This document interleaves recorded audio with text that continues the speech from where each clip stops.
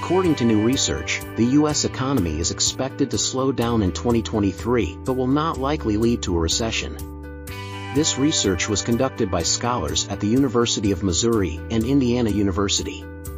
The forthcoming paper in the Accounting Review titled Aggregate Financial Misreporting and the Predictability of U.S. Recessions and GDP Growth finds that instances of manipulated financial statements correlate with U.S. recessions. Put very simply, when corporate America sees an uptick in managers cooking the books, the risks of a recession increase.